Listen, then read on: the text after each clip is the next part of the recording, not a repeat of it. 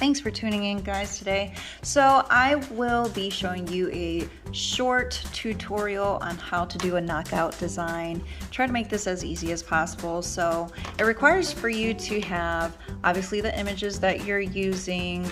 Um, in this situation, it's an SVG picture of a sunflower and a name and I want to put this name in here without having to shrink it down so much um, that it looks teeny and um, too small for the space. I want it to be kind of even and a nice shape and size there. So, um, so let's just work on the name first on how you go about this. So first up, so you got your name here already typed up. Go up to the side toolbar. You're gonna select open the offset panel, which is what we are currently in. And since it's already, already highlighted, we're gonna go ahead to offset. And once you've clicked on that offset, um, I mean, you can do sharp edges or rounded. I'm gonna stick with kind of how the lettering already looks, which is rounded. So we have rounded, and then you're going to enlarge in that's not even word. Anyways, enlarge around the letters. As you can see, if I go in close, there's this lining around the word or the name. So we don't want it so much so where it's like everything is kind of mushed together here and the edges and stuff like that. So I think that's pretty good how it looks right now. Um, I'm gonna go ahead and click apply and then click and drag away the original one. Click on, ooh, no, we don't want to do that. Mess up the whole thing.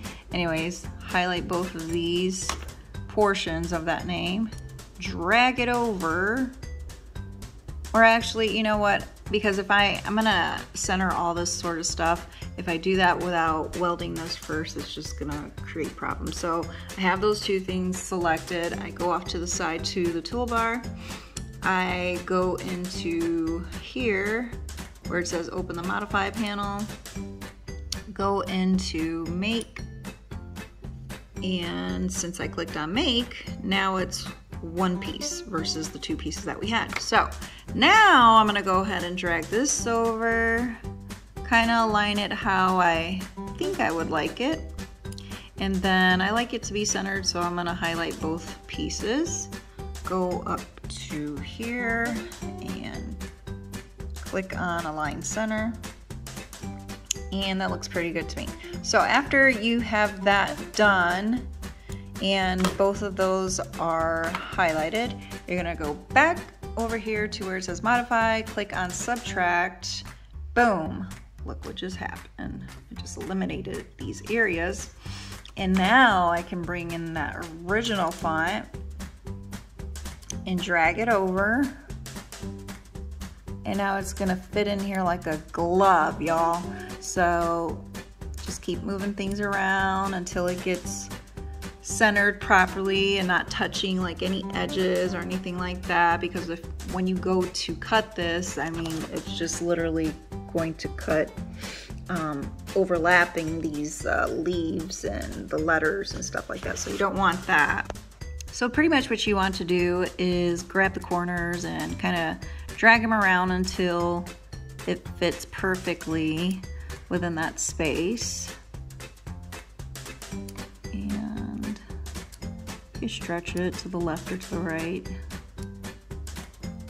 I think this is pretty good. I think I might make it a little, no, not shorter, but a little bit taller. Slightly. Okay, perfect. So it is not touching any sides or anything like this. And when you go to um, the top and you go to send to cut this off of your mat, um, literally you don't have to do much. It's already highlighted. Everything in red is obviously gonna cut.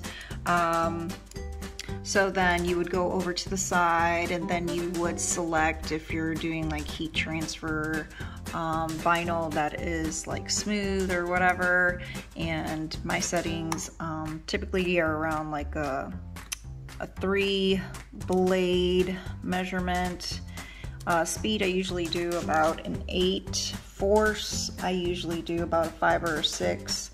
Um, and it turns out good. Uh, heat I heat it usually around 315 to tweet. Oh, yeah, I can't talk today. to 320 for about 15 to 20 seconds.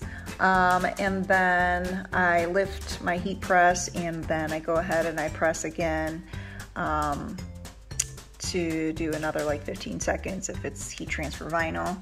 But since this is something that I'm going to use as a stencil, um, I don't have to do mirroring or anything like that, so I would just go into um, my settings for stencil and I don't have to do much of nothing besides go down to the bottom and um, go ahead and run the material through the machine.